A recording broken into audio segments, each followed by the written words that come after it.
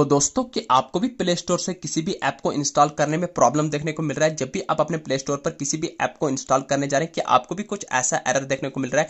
Your device is not compatible with this version का error देखने को मिल रहा है। तो ऐसे में आप अपने प्ले स्टोर से किसी भी ऐप को इंस्टॉल नहीं कर पा रहे तो दोस्तों, मैं आपको बता दूँगा, चाहे आपके पास कोई सा मोबाइल फ़ोन क्यों हो Samsung Realme Oppo Vivo Tecno Infinix या मट्रोला या वन प्लस का फ़ोन क्यों हो तो अगर आपको भी अपने मोबाइल फ़ोन को प्ले स्टोर में किसी भी ऐप को इंस्टॉल करने के टाइम ये एरर देखने को मिल रहा है तो आज की इस वीडियो में आपको तीन ऐसी सेटिंग बताने वाला हूँ। जिन तीन सेटिंग्स को एनेबल करने के बाद मैं गारंटी के साथ कहता हूँ टू हंड्रेड परसेंट आपकी प्रॉब्लम सॉल्व होने वाली है। तो दोस्तों, कैसे आपको इस प्रॉब्लम को सॉल्व करना है? तो सबसे पहले आपको अपने मोबाइल फ़ोन की होम स्क्रीन पर आने के बाद सेटिंग्स को ओपन कर देना है। तो जैसे ही आप अपने मोबाइल फ़ोन में सेटिंग्स को ओपन करेंगे तो आपके सामने भी सेटिंग कुछ इस तरीके से ओपन होकर आ जाएगी। तो दोस्तों, यहाँ पर आपको स्क्रोल करना है। तो जैसे ही आप स्क्रोल करेंगे तो यहाँ पर मुझे एप्स का आइकन दिख रहा है। तो हो सकता है आपको नीचे चल के कहीं पर दिखा रहा आ रहा होगा option management app app info या ऐप लिस्ट का आइकन देखने को मिल रहा हो। तो कहने का मतलब है आपको अपने मोबाइल फ़ोन की सेटिंग्स में सारी की सारी एप्स को निकाल के लाना है। तो जैसे ही आप भी अपने मोबाइल फ़ोन की सेटिंग्स में सारी की सारी एप्स को निकालेंगे तो आपके मोबाइल फ़ोन की एप्स भी कुछ इस तरीके से देखने को मिल जाएगी।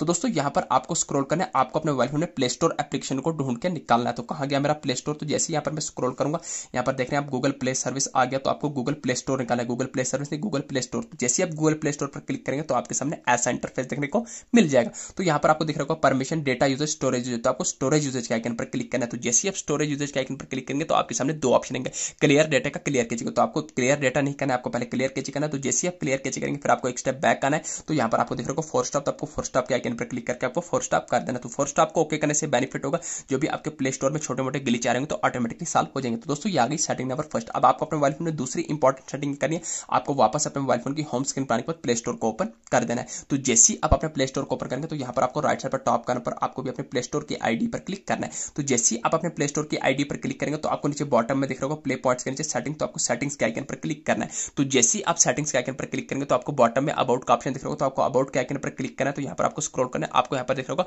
Play Store version update Play Store तो आपको अपडेट प्ले स्टोर पर क्लिक करना है। तो जैसे ही क्लिक करेंगे तो यहाँ पर आपको चेक करना है, कहीं आपका प्ले स्टोर आपको अपडेट तो नहीं मांग रहे जैसे कि आप देख रहे हैं Google Play Store is up to date यानी कि मेरा गूगल प्ले स्टोर अपडेट है। अगर आपका अपडेट नहीं हो तो आपको अपडेट कर लेना। तो आगे दो सेटिंग तो अब आपको अपने मोबाइल फ़ोन में लास्ट एंड फाइनल सेटिंग सबसे इंपॉर्टेंट सेटिंग करनी है। आपको एक स्टेप बैक करना है। तो जैसे ही एक स्टेप बैक करेंगे तो आपको वापस से अपने जो प्ले स्टोर की आईडी पर क्लिक करना है। क्लिक करने के बाद यहाँ पर आपके सामने ऐसा इंटरफेस आएगा।